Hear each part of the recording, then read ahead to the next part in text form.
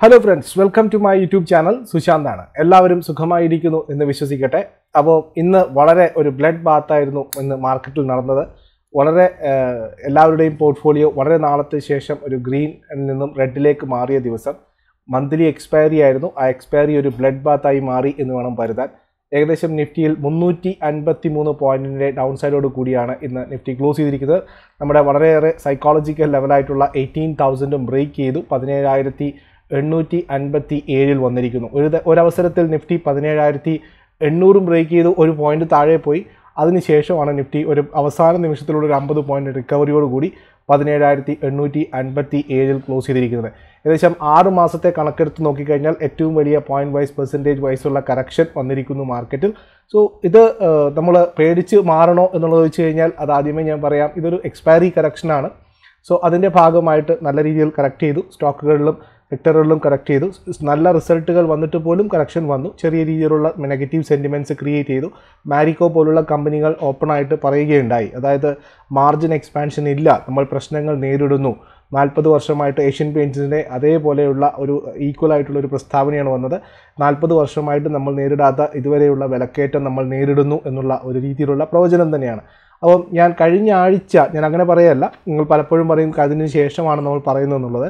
കഴിഞ്ഞ ആഴ്ച ഞാൻ പറഞ്ഞ ഒരു വീഡിയോ പറഞ്ഞിട്ടുണ്ടായിരുന്നു കൂടുതൽ കമ്പനികൾ ഇതുപോലുള്ള മാർജിൻ പ്രഷർ നേരിടുന്നു വിലക്കയറ്റം നേരിടുന്നു എന്നുള്ള പ്രശ്നം പറഞ്ഞു കഴിഞ്ഞാൽ മാർക്കറ്റ് അത് നെഗറ്റീവായിട്ട് ഡിസ്കൗണ്ട് ചെയ്യാൻ സാധ്യതയുണ്ട് എന്നുള്ളത്. സോ വിലക്കയറ്റം പണപ്പെരുപ്പം ഇതൊരു പ്രശ്നമായി നിലനിൽക്കുന്നു.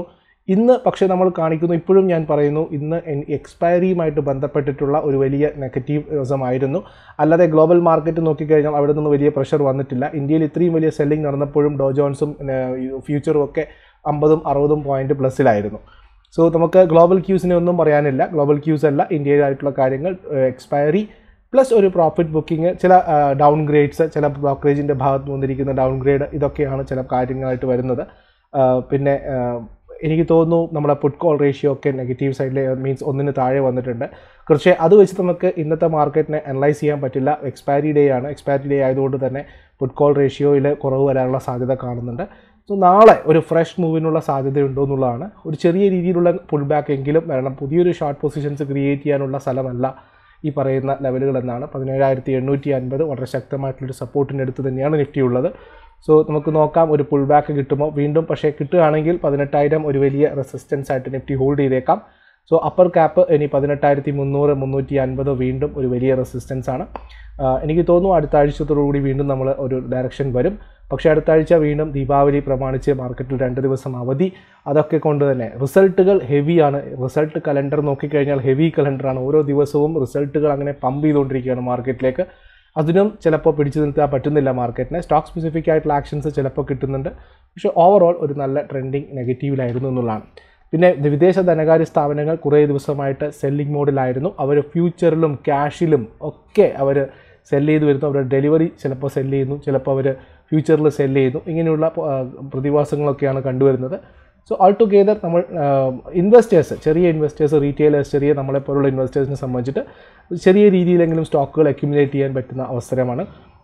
ഇന്ന് നിഫ്റ്റി നോക്കിക്കഴിഞ്ഞാൽ ആകെ ആറ് ആറ് സ്റ്റോക്കുകളിൽ മാത്രമാണ് ചെറിയൊരു പോസിറ്റീവ് കിട്ടിയത്. ബാക്കി നാൽപ്പത്തി ആറ് സ്റ്റോക്കുകളും നമുക്ക് നോക്കിക്കഴിഞ്ഞാൽ മൈനസിലാണ് ക്ലോസ് ചെയ്തത്. ആകെ ഇൻഡസിൻ ബാങ്കും എൽ എൻ ടി അതുപോലെ തന്നെ UltraTech Asian paint Shree cement Maruti അതുപോലെ ബജാജ് ഫിൻസർ ഫിനാൻസ് ഇത്രയും കമ്പനികൾ മാത്രമാണ് നിഫ്റ്റിയിൽ ചെറിയ നേരിയ തോതിലെങ്കിലും നേട്ടമുണ്ടാക്കിയത്.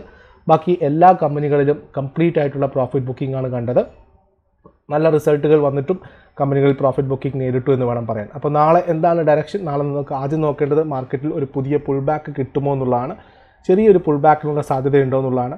ഉണ്ടെങ്കിൽ ആദ്യത്തെ ഹഡിൽ മാർക്കറ്റിൽ ആക്ട് ചെയ്യാൻ സാധ്യത പതിനെട്ടായിരം തന്നെയാണ്. ഒരു റെസിസ്റ്റൻസ് ആയിട്ട്. അതിനുശേഷം പതിനെട്ടായിരത്തി മുന്നൂറാണ് ഇനി അടുത്ത നിഫ്റ്റിയിൽ പ്രതിപാദിക്കുന്ന അടുത്ത റേഞ്ച് എന്ന് പറയുന്നത്. അതുപോലെ തന്നെ ശക്തമായിട്ടുള്ള സപ്പോർട്ട് പതിനേഴായിരത്തി എണ്ണൂറ് എണ്ണൂറ്റി അൻപത് റേഞ്ചിൽ നമുക്ക് കിട്ടണം. ഇല്ല എങ്കിൽ വീണ്ടും സെന്റിമെന്റ്സ് ചിലപ്പം നെഗറ്റീവ് ആയേക്കാം. അങ്ങനെയാണെങ്കിൽ ടെക്നിക്കൽ ചാർട്ടും മറ്റും നോക്കുകയാണെങ്കിൽ പതിനേഴായിരത്തി അഞ്ഞൂറും അതിന് താഴെയും ഒക്കെ സപ്പോർട്ടുകൾ കണക്കുന്നുണ്ട്. നമുക്ക് നോക്കാം. നാളെ കഴിഞ്ഞ് പുതിയൊരു ഫ്രഷ് പൊസിഷൻ ഒക്ടോബർ സീരീസ് കഴിഞ്ഞ് നവംബർ സീരീസിൽ എങ്ങനെയാണ് പൊസിഷൻസ് ബിൽഡപ്പ് ചെയ്യുന്നുള്ളത് പുതിയ സ്റ്റോക്കുകൾ ഏഴോളം സ്റ്റോക്കുകൾ പുതിയതായിട്ട് എഫ് എൻഡോ സെഗ്മെന്റിലേക്ക് വരുന്നു. അതിന്റെ ഒരു ഇഫക്റ്റ് കൂടിയുണ്ട്. അപ്പോൾ അതും കൂടി കണക്കിലെടുത്ത് വേണം പുതിയ ട്രേഡുകൾ പ്ലാൻ ചെയ്യാൻ വേണ്ടിയിട്ട്. പക്ഷേ ഞാൻ ഇപ്പോഴും പറയുന്നു ഒരു പുൾ ബാക്കിനുള്ള സാധ്യത ചെറിയ രീതിയിലെങ്കിലും കണ്ടേക്കാം. ആ സമയത്ത് നമ്മൾ നെഗ അത്രമാത്രം നെഗറ്റീവായിട്ട് മാർക്കറ്റിൽ പോകേണ്ട ആവശ്യമില്ല എന്ന് തന്നെയാണ്. നമുക്കൊരു പുൾ ബാക്ക് കിട്ടും. നമ്മൾ തിരിച്ച് പതിനെട്ടായിരത്തിന് മുകളിലേക്ക് അത്ര പെട്ടെന്ന് തന്നെ വരും എന്ന് തന്നെയാണ് ശുഭപ്രതീക്ഷ. ഇന്ന് പല ഷെയറുകളിലും നല്ല രീതിയിലുള്ള സെല്ലിംഗ് ദൃശ്യമായി. അതിൽ പ്രധാനപ്പെട്ടത് ടാറ്റ മോട്ടോർ ടാറ്റ കെമിക്കൽസ് ആയിരുന്നു. ടാറ്റ കെമിക്കൽസിൽ ഏകദേശം പത്ത് ശതമാനത്തിനടുത്തുള്ള കറക്ഷൻ വന്നു. പ്രധാനപ്പെട്ട പ്രശ്നങ്ങൾ വന്നിരിക്കുന്നത് എന്ന് വെച്ച് കഴിഞ്ഞാൽ യൂറോപ്യൻ യൂറോപ്യൻ ഓപ്പറേഷനിൽ നിന്നാണ് അവരവിടെ പ്രോഫിറ്റ് എക്സ്പെക്റ്റ് ചെയ്തെടുത്തു നിന്നും ലോസിലേക്ക് വന്നിരിക്കുന്നു. പത്ത് ശതമാനത്തിലധികം ലോസാണ് അവർ അവർ എക്സ്പെക്ട് മീൻസ് അവർ നൂറ്റി ആറ് രൂപ താഴ്ന്നിട്ടാണ് സ്റ്റോക്ക് ക്ലോസ് ചെയ്തിരിക്കുന്നത്. പ്രോഫിറ്റ് എക്സ്പെക്ട് ചെയ്ത യൂറോപ്യൻ ഡിവിഷനിൽ നിന്നും നെഗറ്റീവായിട്ടുള്ള റിസൾട്ട് വന്നു. ഓപ്പറേഷണൽ എഫിഷ്യൻസിയിൽ കാര്യമായിട്ടുള്ള ഇടിവ് വന്നു എന്നുള്ള വാർത്തയാണ് ടാറ്റ കെമിക്കലിൽ ചെറിയ രീതിയിലുള്ള കറക്ഷൻസിന് സാധ്യമായത്. അതുപോലെ തന്നെ I R C T C I R C T സിയിൽ ഇന്ന് സ്റ്റോക്ക് സ്പ്ലിറ്റ് സംഭവിച്ചു. അതിനുശേഷം പത്ത് ശതമാനത്തിനടുപ്പിച്ചുള്ള കറക്ഷൻ അപ്സൈഡ് റാലി നമ്മൾ ഇന്ന് കാണുകയുണ്ടായി. അതുപോലെ തന്നെ ഗവൺമെന്റ് യൂസേഴ്സ് ഫീൽഡിൽ നിന്നും ഫിഫ്റ്റി പെർസെന്റേജ് ഷെയറിംഗ് ആവശ്യപ്പെട്ടു ഐ ആർ സി ടി സിയോട് അതായത് വരുമാനത്തിന്റെ അമ്പത് ശതമാനം യൂസേഴ്സ് ഫീൽഡിൽ നിന്ന് ഗവൺമെന്റുമായിട്ട് ഷെയർ ചെയ്യണം എന്നുള്ള വാർത്തയാണ്. ഇത് സത്യമായിട്ടും നെഗറ്റീവാണ് ചെറിയ രീതിയിൽ ഗവൺമെന്റിനെ സംബന്ധിച്ച് റവന്യൂവിൽ സെഗ്രിഗേഷൻ വരുന്നത് ഐ ആർ സി ടി സിയെ സംബന്ധിച്ച് ചെറിയ നെഗറ്റീവ് തന്നെയാണ്. ഇതിന്റെ finalisation I R C T സിയുടെ ഭാഗത്ത് നിന്ന് അടുത്ത് തന്നെ വരും എന്ന് വിചാരിക്കട്ടെ. ഇനി നമുക്ക് പ്രധാനപ്പെട്ട കമ്പനികൾ അനൗൺസ് ചെയ്ത റിസൾട്ടുകൾ ഒന്ന് പെട്ടെന്ന് ഓടിച്ചു പോകാം ഒന്ന് ടാറ്റ പവറാണ് ടാറ്റ പവർ ഇരുന്നൂറ്റി എൺപത് കോടിയിൽ നിന്നും അവരുടെ ലാഭം ഉയർന്ന് നാനൂറ്റി ഇരുപത് കോടി രൂപയായി മാറിയിരിക്കുന്നു. അതുപോലെ തന്നെ റവന്യൂ നോക്കിക്കഴിഞ്ഞാൽ എട്ടായിരത്തി ഇരുന്നൂറ്റി തൊണ്ണൂറിൽ നിന്നും ഉയർന്ന് ഒൻപതിനായിരത്തി എണ്ണൂറ്റി പത്ത് കോടി രൂപയായി മാറിയിരിക്കുന്നു. അതിന് ഏവിയേഷൻ സെക്ടറിലെ പ്രധാനപ്പെട്ട ലീഡറായിട്ടുള്ള ഇൻഡിഗോ ഏവിയേഷൻ ഇൻഡോ ഇൻഡിഗോയുടെ റിസൾട്ട് വന്നിരിക്കുന്നു. നാൽപ്പത് കോടി രൂപയുടെ ലോസ് ആണ് കമ്പനി റിപ്പോർട്ട് ചെയ്തിരിക്കുന്നത്. കഴിഞ്ഞ പ്രാവശ്യം ആയിരത്തി ഒരുന്നൂറ്റി തൊണ്ണൂറ് കോടി രൂപയുടെ ലോസ് ആയിരുന്നു. അത് വീണ്ടും കൂടിയിരിക്കുന്നു എന്ന് വേണം പറയാൻ. അതുപോലെ തന്നെ റവന്യൂ രണ്ടായിരത്തി എഴുന്നൂറ്റി നാൽപ്പതിൽ നിന്നും കൂടി രണ്ടാ അയ്യായിരത്തി അറുന്നൂറ്റി പത്ത് കോടി രൂപയായി റവന്യൂ കൂടിയതായിട്ട് കാണുന്നു. അതുപോലെ തന്നെ ബ്ലൂ സ്റ്റാർ പ്രധാനപ്പെട്ട ഹോം അപ്ലയൻസസ് കമ്പനിയായിട്ടുള്ള ബ്ലൂ സ്റ്റാർ അവരുടെ പ്രോഫിറ്റ് മുപ്പത്തി ഒന്ന് കോടി രൂപയായി മാറിയിരിക്കുന്നു. കഴിഞ്ഞ പ്രാവശ്യം വെറും പതിനഞ്ച് കോടി രൂപയായിരുന്നു. അതുപോലെ തന്നെ മാർക്കറ്റ് എക്സ്പെക്റ്റേഷൻ ഏകദേശം ഇരുപത്തി ആറ് കോടി രൂപയായിരുന്നു. അവിടെ നിന്നാണ് മുപ്പത്തി ഒന്ന് കോടി രൂപയുടെ പ്രോഫിറ്റ് കമ്പനി ഡിക്ലെയർ ചെയ്തിരിക്കുന്നത്. സെയിൽസ് തൊള്ളായിരം കോടിയിൽ നിന്നും ഉയർന്ന് ആയിരത്തി ഇരുന്നൂറ്റി നാൽപ്പത് കോടി രൂപയായി. വർദ്ധിച്ചിരിക്കുന്നു. ഡി എൽ എഫ് പ്രധാനപ്പെട്ട റിസൾട്ടായിരുന്നു റിയൽ എസ്റ്റേറ്റ് കമ്പനികളിലുണ്ടായിരുന്ന പ്രധാനപ്പെട്ട കാര്യം ഡി എൽ എഫിന്റെ റിസൾട്ട് മുന്നൂറ്റി എൺപത് കോടി രൂപയാണ് പ്രോഫിറ്റ് രേഖപ്പെടുത്തിയിരിക്കുന്നത്. കഴിഞ്ഞ പ്രാവശ്യം വെറും ഇരുന്നൂറ്റി മുപ്പത് കോടി രൂപയുടെ പ്രോഫിറ്റാണ് കമ്പനിക്ക് ഉണ്ടായിരുന്നത് മാർക്കറ്റ് എക്സ്പെക്റ്റേഷൻ നാനൂറ്റി മുപ്പത് കോടി രൂപയായിരുന്നു. മാർക്കറ്റ് എക്സ്പെക്റ്റേഷൻ ഒരുത്ത് ഡി എൽ എഫിന്റെ റിസൾട്ട് വളർന്നില്ല എന്ന് വേണം കരുതാൻ. സെയിൽസ് ആയിരത്തി അറുന്നൂറ്റി പത്ത് കോടിയിൽ നിന്ന് ഉയർന്ന് ആയിരത്തി നാനൂറ്റി സോറി ആയിരത്തി നാനൂറ്റി എൺപത് കോടി രൂപയാണ് സെയിൽസ് വന്നിരിക്കുന്നത്. കഴിഞ്ഞ പ്രാവശ്യം അത് ആയിരത്തി അറുന്നൂറ്റി പത്ത് കോടി രൂപയായിരുന്നു. മറ്റൊരു നല്ല റിസൾട്ട് വന്നിരിക്കുന്നത് ഇന്ത്യൻ ബാങ്കിന്റെ ഭാഗത്തു നിന്നാണ് ആയിരത്തി തൊണ്ണൂറ് കോടി രൂപയുടെ പ്രോഫിറ്റാണ് ബാങ്ക് രേഖപ്പെടുത്തിയിരിക്കുന്നത്. കഴിഞ്ഞ പ്രാവശ്യം വെറും നാനൂറ്റി പത്ത് കോടി രൂപയായിരുന്നു. അതുതന്നെ നെറ്റ് പെർഫോമിംഗ് നോൺ പെർഫോമിംഗ് അസറ്റ്സിന്റെ കാറ്റഗറി മൂന്ന് പോയിന്റ് നാല് ഏഴ് ശതമാനം ഉണ്ടായത് കുറഞ്ഞ് മൂന്ന് പോയിന്റ് രണ്ട് ആറ് ശതമാനമാണ് ഇപ്പോൾ ബാങ്ക് കാണിച്ചിരിക്കുന്നത്. അതുപോലെ ടാറ്റ മോട്ടോഴ്സിന്റെ ഭാഗത്ത് വന്നിരിക്കുന്ന അനൗൺസ്മെന്റ് ഇരുപത്തി ഒന്ന് പുതിയ കൊമേഴ്ഷ്യൽ വെഹിക്കിൾസ് ഡിഫറെന്റ് മോഡൽസിൽ അവർ ലോഞ്ച് ചെയ്യാൻ പോകുന്നു എന്നുള്ള തീരുമാനമാണ്. അതുതന്നെ മാരിക്കോ പ്രധാനപ്പെട്ട എഫ് എം സി ജി കമ്പനിയായിട്ടുള്ള മാരിക്കോയുടെ ഭാഗത്ത് റിസൾട്ട് വന്നിരിക്കുന്നു. മുന്നൂറ്റി പത്ത് കോടി രൂപയുടെ പ്രോഫിറ്റാണ് കമ്പനി രേഖപ്പെടുത്തിയിരിക്കുന്നത്. നേരെ മറിച്ച് കഴിഞ്ഞ പ്രാവശ്യം ഇരുന്നൂറ്റി അറുപത് കോടി രൂപയായിരുന്നു. മാത്രമല്ല മാർക്കറ്റ് എക്സ്പെക്റ്റേഷൻ ഇരുന്നൂറ്റി എൺപതാണ് അതിന് മുകളിലാണ് കമ്പനി റിസൾട്ട് പ്രഖ്യാപിച്ചിരിക്കുന്നത്. മൂന്ന് രൂപയുടെ ഒരു ഇന്ററിം ഡിവിഡൻഡ് കൂടി കമ്പനി പ്രഖ്യാപിച്ചതായിട്ട് കാണുന്നു. കാണുന്നു തന്നെ pay T M pay T M അവരുടെ സ്മോൾ ബാങ്ക് ആപ്ലിക്കേഷൻ അതായത് പേയ്മെന്റ് ബാങ്കിനുള്ള ആപ്ലിക്കേഷൻ ഫോർവേഡ് ചെയ്തതായിട്ട് എക്സ്ചേഞ്ചിനെ അറിയിച്ചിട്ടുണ്ട്. കേരള ബേസ്ഡ് കമ്പനിയായിട്ടുള്ള കേരള ബേസ്ഡ് കമ്പനിയായിട്ടുള്ള വി ഗാർഡ് അവരുടെ റിസൾട്ട് വന്നിരിക്കുന്നു. അൻപത്തി ഒൻപത് കോടി രൂപയുടെ പ്രോഫിറ്റാണ് കമ്പനി രേഖപ്പെടുത്തിയിരിക്കുന്നത്. കഴിഞ്ഞ പ്രാവശ്യം അൻപത് കോടി രൂപയായിരുന്നു. ഒൻപത് കോടി രൂപയുടെ അധിക പ്രോഫിറ്റാണ് കമ്പനി രേഖപ്പെടുത്തിയത്. പക്ഷേ വിഗാർഡിൽ നിന്നും മാർക്കറ്റ് എക്സ്പെക്റ്റേഷൻ അൻപത്തി അഞ്ച് കോടി രൂപയുടേതായിരുന്നു. റവന്യൂ നോക്കിക്കഴിഞ്ഞാൽ അറുന്നൂറ്റി ഇരുപത് കോടിയിൽ നിന്നും ഉയർന്ന് തൊള്ളായിരം കോടി രൂപയുടെ റവന്യൂ ആണ് കമ്പനി രേഖപ്പെടുത്തിയിരിക്കുന്നത്. അതുപോലെ തന്നെ ബജാജ് ഫിൻസർവിന്റെ റിസൾട്ട് തൊള്ളായിരത്തി തൊണ്ണൂറ് കോടിയിൽ നിന്നും പ്രോഫിറ്റ് ഉയർന്ന് ആയിരത്തി ഒരുന്നൂറ്റി ഇരുപത് കോടി രൂപയായി മാറിയിരിക്കുന്നു.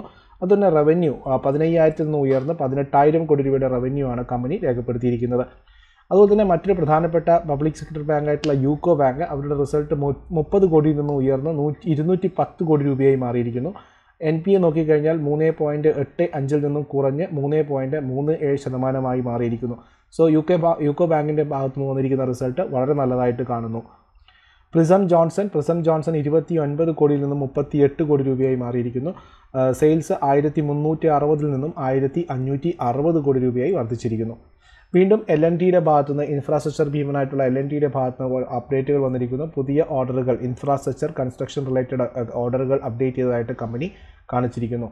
അതുപോലെ തന്നെ എയർടെല്ലിനെ സുപ്രീം കോടതി വിധിയിൽ നിന്നും ചെറിയ ചെറിയ രീതിയിലുള്ള ഒരു തിരിച്ചടി ജി എസ് ടി റീഫണ്ടിനായിട്ടുള്ള ഒമ്പത് തൊള്ളായിരത്തി ഇരുപത് കോടി രൂപയുടെ കേസിൽ എയർടെല്ലിന് തിരിച്ചടി വന്നിരിക്കുന്നു. ആ കേസിന് എഗൻസ്റ്റ് ആയിട്ടുള്ള ആണ് സുപ്രീം കോടതിയുടെ ഭാഗത്തു നിന്ന് വന്നിരിക്കുന്നത് ഹാപ്പിയസ്റ്റ് മൈൻഡിന്റെ ക്യൂ ടു റിസൾട്ട് അപ്ഡേറ്റ്സ് വന്നിട്ടുണ്ട്. നാൽപ്പത്തി നാല് കോടി രൂപയുടെ പ്രോഫിറ്റാണ് കമ്പനി രേഖപ്പെടുത്തിയത്. കഴിഞ്ഞ പ്രാവശ്യം മുപ്പത്തി അഞ്ച് കോടി രൂപയായിരുന്നു. റവന്യൂ ഇരുന്നൂറ്റി നാൽപ്പതിൽ നിന്ന് ഉയർന്ന് ഇരുന്നൂറ്റി അറുപത് കോടി രൂപയായി മാറിയിരിക്കുന്നു. ഒരു രൂപ എഴുപത്തിയഞ്ച് പൈസ വെച്ചിട്ട് കമ്പനി ഇന്ററിം ഡിവിഡന്റും പ്രഖ്യാപിച്ചിട്ടുണ്ട്. പേ ടി എമ്മിന്റെ റിസൾട്ട് പേ ടി എമ്മിന്റെ ഐ പി ഒ വരാൻ പോകുന്നു. രണ്ടായിരത്തി എൺപതിനും രണ്ടായിരത്തി ഒരുന്നൂറ്റി അൻപതിനും ഇടയിലായിരിക്കും ഷെയർ പ്രൈസിങ് ഉണ്ടാവുക എന്നാണ് പറയുന്നത്. അതായത് ഒരു രൂപയുടെ ഫേസ് വാല്യൂ ഉള്ള ഷെയറുകളായിരിക്കും രണ്ടായിരത്തി എൺപത് ടു രണ്ടായിരത്തി ഒരുന്നൂറ്റി അൻപത് പ്രൈസ് ബാൻഡിൽ കമ്പനി ഇഷ്യൂ ചെയ്യാൻ പോകുന്നത്.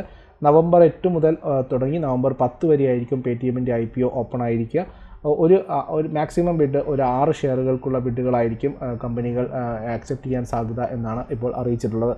അതിന് അദാനി എന്റർപ്രൈസസ് ഇന്ന് വളരെയേറെ റിസൾട്ടിന് ശേഷം മാർക്കറ്റ് എക്സ്പെക്റ്റേഷൻ എക്സ്പെക്റ്റേഷനൊത്ത് ഉയരാത്ത ഒരു റിസൾട്ട് ആയതുകൊണ്ട് തന്നെ നല്ല രീതിയിൽ പണിഷ്മെന്റ് കിട്ടിയ ഒരു സ്റ്റോക്കാണ് അദാനി എന്റർപ്രൈസസ് അവരെ പറ്റി വന്നിരിക്കുന്ന വാർത്ത ഏകദേശം ഒരു ആറ് കമ്പനികളുമായിട്ട് ആഗോള തലത്തിലുള്ള ആറ് പെൻഷൻ ഫണ്ടുകളടക്കം വലിയ കമ്പനികളുമായിട്ടുള്ള സംസാരം തുടർന്നുകൊണ്ടിരിക്കുന്നു. ടോക്ക് ഇൻ പ്രോഗ്രസ് എന്നാണ് പറഞ്ഞിരിക്കുന്നത്. അവർ ഇൻവെസ്റ്റ്മെന്റുമായിട്ട് ബന്ധപ്പെട്ടിട്ട്. അതിൽ പ്രധാനപ്പെട്ടത് ഉദ്ദേശിക്കുന്ന Abu Dhabi investment authority Qatar investment authority B N B Paribas അതുപോലെ തന്നെ total energies energies S C അതായത് രണ്ട് ബില്യൺ ഇക്വിറ്റി സെയിൽസുമായിട്ട് ബന്ധപ്പെട്ടിട്ടുള്ള ഫണ്ട് റൈസിങ്ങിന്റെ പ്ലാനുകളാണ് ഈ ആറോളം ലോക ലെവലിലുള്ള ഇക്വിറ്റി ഫണ്ട് ഫേംസുമായിട്ട് കമ്പനി പുരോഗമിപ്പിക്കുന്നത് എന്നാണ് അറിയുന്നത്. അതുതന്നെ ഫുഡ് ചെയിൻ കമ്പനിയായിട്ടുള്ള അല്ലെങ്കിൽ ഫുഡ് സപ്ലൈയിങ് കമ്പനിയായ ഫുഡ് പ്ലാറ്റ്ഫോമായിട്ടുള്ള സൊമാറ്റോ അവരുടെ അയർലൻഡിലെ സൊമാറ്റോ ഓപ്പറേഷൻസ് അവസാനിപ്പിക്കുവാൻ കമ്പനി തീരുമാനിച്ചിരിക്കുന്നു എന്നുള്ളതാണ്. അതുപോലെ തന്നെ ലെബനൻ ബ്രാഞ്ചുകൾ കൂടുതലായിട്ടും ഓപ്പറേഷൻസ് ഇൻ ലെബനൻ ഭാഗത്തുള്ള ഓപ്പറേഷൻസുകളും ഏകദേശം ഡിസംബർ പതിനഞ്ചോട് കൂടി അവർ അവസാനിപ്പിക്കുന്നു എന്നുള്ള വാർത്തയാണ് വന്നിരിക്കുന്നത്.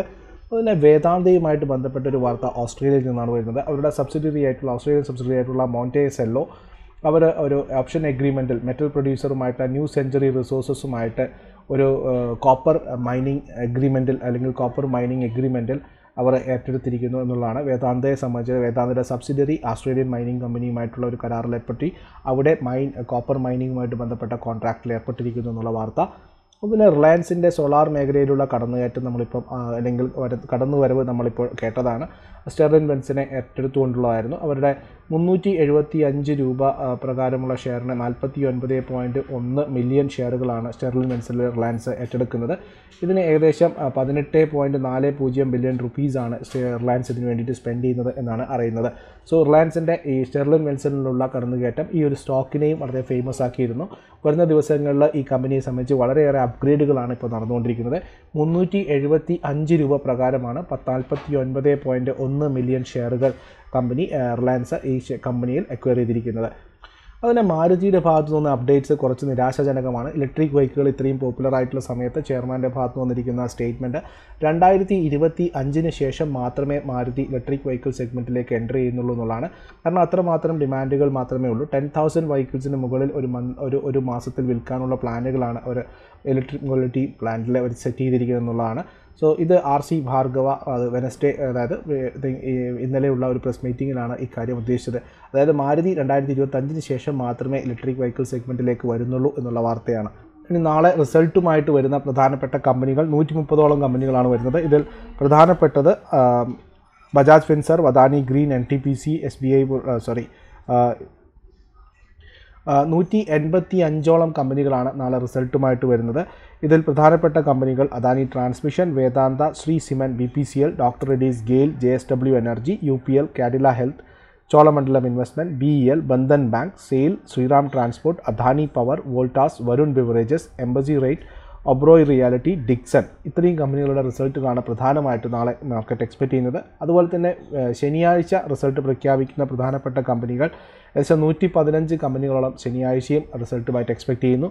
ഇതിൽ പ്രധാനപ്പെട്ടത് ഐ യു സി അതുപോലെ തന്നെ Aarti industries I D F C bank അങ്ങനെയുള്ള കമ്പനികളിലാണ് പ്രധാനപ്പെട്ട കമ്പനികളായിട്ട് കാണുന്നത്. സോ നാളെ ഓൾ ടുഗെദർ നിഫ്റ്റിയെ സംബന്ധിച്ചിട്ടും ബാങ്ക് നിഫ്റ്റി അതുപോലെ തന്നെ എല്ലാ ഇൻഡെക്സുകളെ പറ്റിയിട്ടും പ്രധാനപ്പെട്ട ദിവസം തന്നെയാണ്. കാരണം ഇത്രയും കറക്ഷൻ വന്നു കഴിഞ്ഞു. ഇനി നാളെ ഒരു പുൾ ബാക്ക് വരുമോ എന്നുള്ളതാണ് പുൾ ബാക്ക് വരുന്നതാണെങ്കിൽ തന്നെ ഓരോ ലെവലുകളിലും ചിലപ്പോൾ പ്രോഫിറ്റ് ബുക്കിംഗ് നമ്മൾ കണ്ടേക്കാം. കാരണം നമ്മൾ മുൻകൂട്ടി കാണേണ്ടത് നാളെ വീക്കെൻഡാണ് നാളത്തെ ഒരു ട്രേഡിംഗ് ദിവസം കഴിഞ്ഞാൽ വീണ്ടും രണ്ട് ദിവസത്തേക്ക് അവധിയിലേക്ക് മാർക്കറ്റ് പ്രഖ്യാ കിടക്കുന്നു. പിന്നെ അടുത്ത ആഴ്ച മിക്കവാറും നോർത്ത് ഇന്ത്യൻ പ്ലേയേഴ്സും അതുപോലെ തന്നെ ബ്രോക്കിംഗ് ഫേംസും ഒക്കെ ദിവാലിയുടെ മൂഡിലേക്ക് വരുന്നു. സോ ഇനിയൊരു ഫ്രഷ് മൂവി ദിവാലിക്ക് ശേഷമാണോ എന്നുള്ളതാണ്.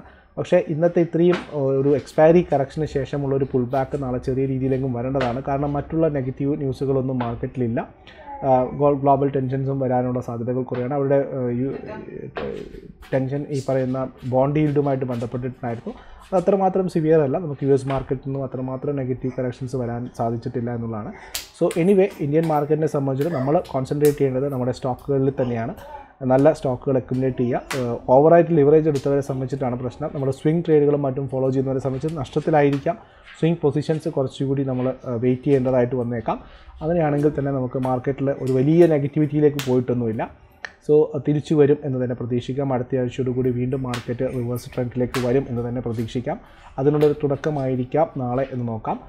നമ്മൾ നാളത്തെ ഒരു ഫസ്റ്റ് ഇന്നത്തെ ഒരു ഫസ്റ്റ് ഹാഫ് ആൻ അവർ കൊണ്ട് തന്നെ നമുക്ക് മാർക്കറ്റ് ഏറ്റവും വലിയ ലോ തന്നു അതിനുശേഷം ഒരിക്കലും പിന്നീട് ആ ഒരു ലെവലിലേക്ക് ഒന്നും പോയിട്ടില്ല.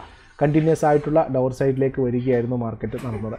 സോ അതുകൊണ്ട് തന്നെ നാളെ പോസിറ്റീവ് മൊമെന്റം നമ്മൾ എക്സ്പെക്റ്റ് ചെയ്യുന്നു. നോക്കാം നമുക്ക് എന്ത് സംഭവിക്കുന്നത് സോ പതിനെട്ടായിരത്തി എണ്ണൂറ് കൃത്യമായിട്ട് മാർക്കറ്റ് ഹോൾഡ് ചെയ്യുമെന്ന് നോക്കാം. അല്ല നാളെയും ഒരു കറക്ഷനിലേക്ക് മോഡിലേക്ക് പോവുക എന്നുള്ളത് കാണാം. F P F F I ഐസിന്റെ selling mode എത്രമാത്രം കണ്ടിന്യൂ ചെയ്യുമെന്ന് നമുക്ക് നോക്കേണ്ടതായിട്ടുണ്ട്. സോ എല്ലാവർക്കും നല്ലൊരു ട്രേഡിംഗ് ദിവസം ആശംസിക്കുന്നു. മാർക്കറ്റിൽ ഇതുപോലുള്ള കറക്ഷൻസ് നമ്മൾ എക്സ്പെക്ട് ചെയ്യണം. കാരണം അപ്സൈഡ് സൈഡ് മാത്രമല്ല മാർക്കറ്റിലുള്ള ഒരിക്കലും. ഡൗൺ സൈഡും ഉണ്ട്. അവിടെയും നമ്മൾ എക്സ്പെക്ട് ചെയ്യണം. ആ ഒരു മൊമെന്റും കൂടി കണ്ടുകൊണ്ട് വേണം മാർക്കറ്റിൽ ഇൻവെസ്റ്റ്മെന്റ് ചെയ്യാനുള്ളത്. അതെപ്പോഴും സംഭവിക്കുന്നതാണ്.